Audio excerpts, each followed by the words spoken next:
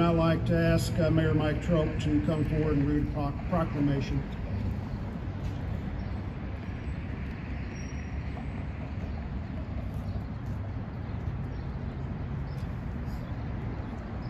Thank you, Chief. City of Quincy, Illinois official proclamation. Whereas in 1962, President John F. Kennedy designated May 15th as National Peace Officers Day, and the calendar week of May 15th falls as National Police Week. And whereas on average, one law enforcement officer is killed in America every 58 hours. And whereas each year, on average, 150 law enforcement officers are killed and thousands of law enforcement officers are assaulted in America. And whereas in the history of the Quincy Police Department, five officers have been killed in the line of duty. And whereas law enforcement officers across our great nation work countless hours for the benefit of all. And whereas our community desires to honor the service and dedication of the men and women of the Quincy Police Department who sacrificed much for the safety and security of our community. Now therefore, I, Mayor Mike Troup, do hereby proclaim the week of May 9th to the 15th, 2021 as Police Week, and Saturday, May 15th, 2021 as Peace Officer Memorial Day. In the city of Quincy, and I urge all citizens to make every effort to express appreciation to these men and women who are willing to sacrifice their lives, if necessary, to protect us and our loved ones against all who violate the law. Thank you.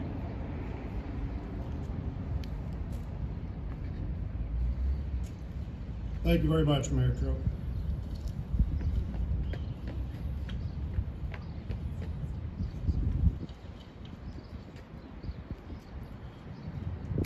Twenty twenty was a rare year, we all know that. Uh, in all, nationwide, three hundred and sixty-two police officers died in the line of duty 234 of those were from COVID-19. That in, and of itself is an amazing number. And I mean no disrespect to any of the officers that died from COVID-19, but we have to remove those numbers from the rest of the officers dives so that we can adequately compare to other years to, to really see what's going on in, in the, the uh, world of policing regarding officers dying in the line of duty. So removing the COVID-19 numbers left us with 128 officers nationwide who died in the line of duty last year. 59 by criminal attack, 33 from traffic crashes. 128, that's an amazingly good number. The most recent year going back, where we, I can find a number lower than 128, was 1959. The past 10-year average for officers who died in the line of duty was 150. But the good news stops there. 59 officers of those 128 were murdered versus a 10-year average, the last 10-year average of 60. While that is below that average, remember, it was a much lower total of officers died in line of duty last year. 46% of the officers who died in line of duty last year were, murdered versus the 10-year average of 40.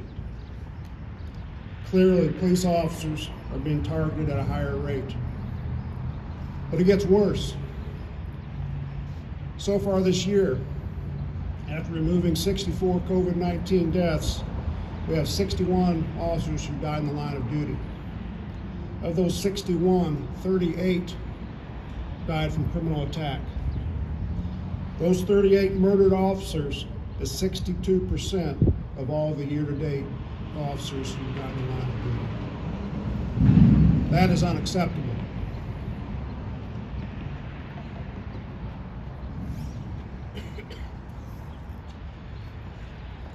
In Illinois, in 2020, we had 10 officers who died in the line of duty.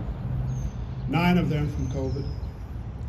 The one that was not a COVID-related death died from a traffic crash. I will now read the names of those officers who died in the line of duty in Illinois last year.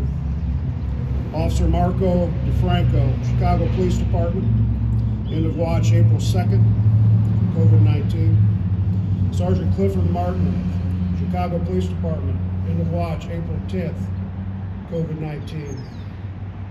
Chief Terrence Engel, Hampton Police Department, end of watch April 11th, automobile crash.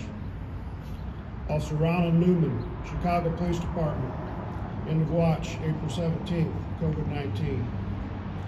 Corrections Officer Sheila Rivera, Cook County Sheriff's Office, end of watch April 19th, COVID-19. Officer Joseph Capello, Melrose Park Police Department, end of watch April 24th, COVID-19. Deputy Richard O'Brien, Cook County Sheriff's Office, end of watch May 3rd, COVID-19. Corrections Officer Antoine Jones, Cook County Sheriff's Office, end of watch May 10th, COVID-19. Corrections Officer Jose Marquez, Cook County Sheriff's Office, end of watch June 28th, COVID-19. Officer Titus Moore, Chicago Police Department, end of watch November 24th, COVID-19. Already this year, three officers in the state of Illinois have died in the line of duty. Officer Gary Hibbs, Chicago Heights Police Department, of watch March 12th from an assault. Senior Master Trooper Todd Hanneken, Illinois State Police, end of watch March 25th, automobile crash. And Lieutenant James Koski, hometown, hometown Police Department, end of watch April 3rd, vehicular assault. That's two out of three that were murdered. That's 67%. Historically, the bi-state Quincy area has had 14 officers killed in the line of duty. William H. Dallas, Quincy Police Department, watch May 30th, 1876 from gunfire. Thomas J. Seahorn, Quincy Police Department, end of watch August 19th, 1878, criminal attack. Raphael A. Gerard, Hannibal Police Department, end of watch December 16th, 1900, from gunfire. John McGonigal, Hannibal Police Department, end of watch July 13th, 1916, gunfire. Robert Bumster, Quincy Police Department, end of watch May 24th, 1919, gunfire.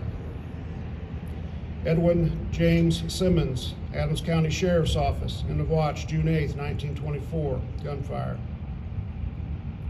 Ross S. Creech, Missouri Highway Patrol, end of watch December 12, 1943, traffic crash.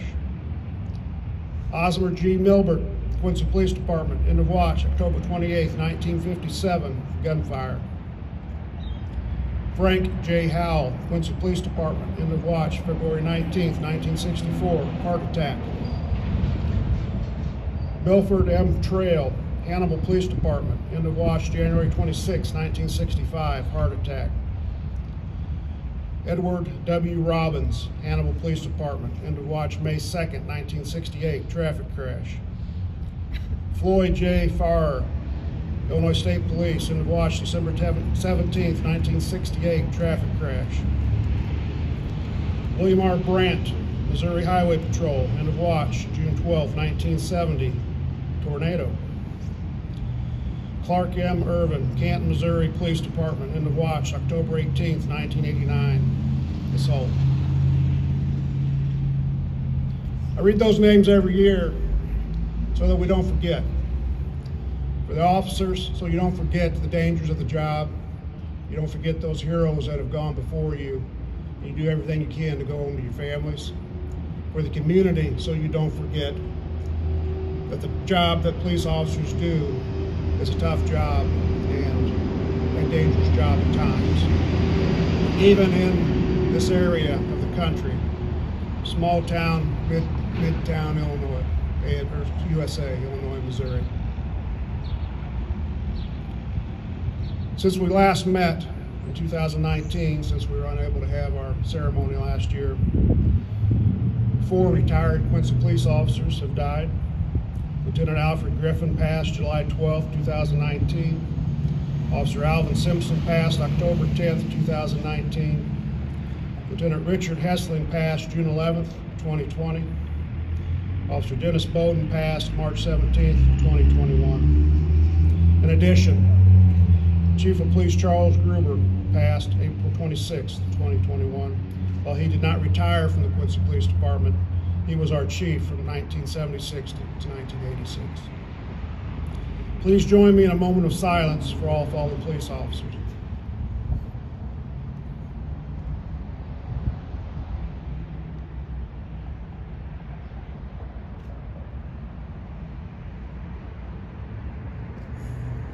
Thank you. I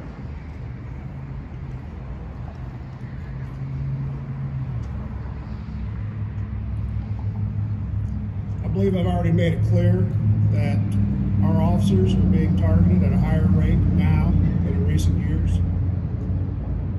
It is not just individual officers with targets on their backs. Law enforcement itself is being targeted and actively attacked on all fronts. Now, do not take what I'm saying to mean that I do not feel there is a need for change in policing as well as the criminal justice system. Law enforcement, the front line, and an important piece of this criminal justice system must constantly be scrutinized and changed as necessary. But that change must be reasonable. And I have to say, I haven't seen a lot of reason in much of what I see coming our way. It's my fear that the noble profession of policing may soon be recorded on that list of those murdered senselessly. Now, I've challenged, well, I don't know if the word, right word is challenged, but that's the word I'm going to use. I challenged uh, our officers to stand steadfast, weather the changes, and not make rash decisions regarding their careers. But that's tough to do in these times. So I will offer some words to help do that. I apologize to Quincy officers who may have seen this a few times already. But please listen closely to these words and apply them to what our profession and your own life is enduring.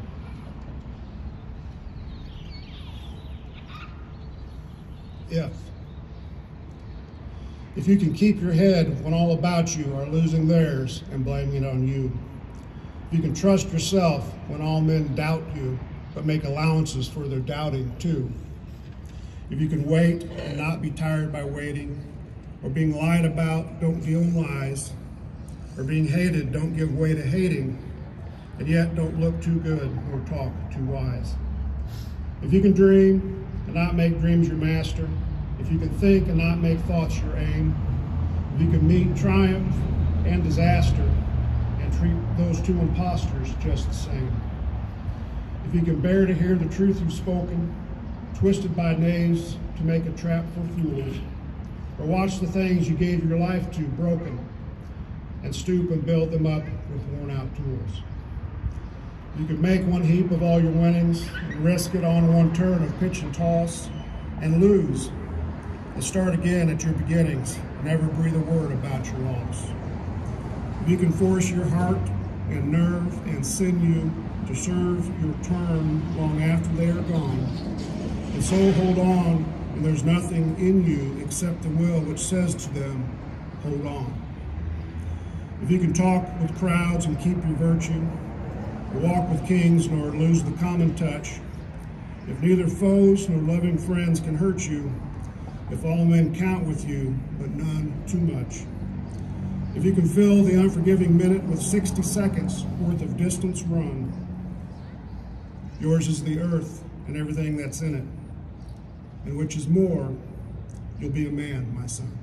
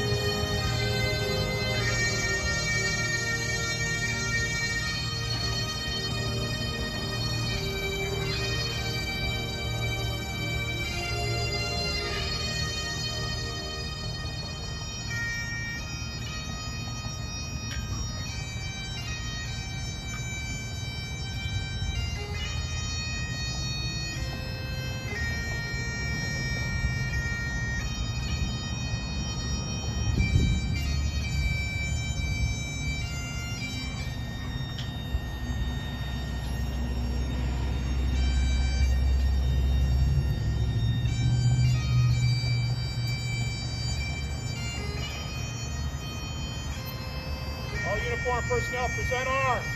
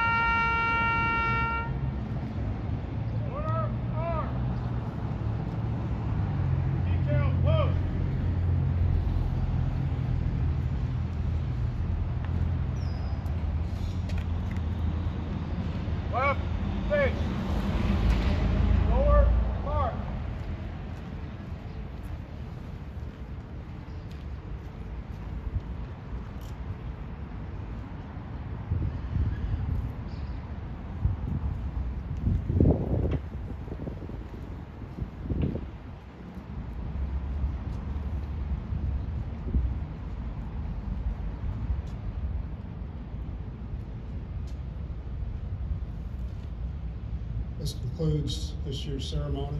I want to thank everyone for coming. I want to thank uh, members of the Quincy Police Department uh, Honor Guard, for the job they have done this morning and always do. Um, For those uh, active law enforcement officers, there will be a law enforcement appreciation lunch served at noon in front of the Quincy Police Department. Um, Meal sponsored by ServPro of Quincy, Auto Vending, Heartland Coca-Cola, and Classic Signs and Engraving. Thank you all. Have a good day.